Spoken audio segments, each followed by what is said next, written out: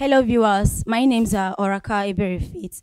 I'm here to present a monologue titled My Experience. Excuse me, Mr. Director. What are you talking about? You invited me all the way from Abuja down to Lagos for me to open my legs for you to go in? Why? Director, I paid for this. I was auditioned.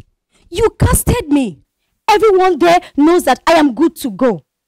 And now you're telling me to open my legs for you to go in? no, it's not being done. People like you are ought to rot in Kuje prison. In case you don't know, I recorded everything that happened here. And I must, I must take you down. Good day.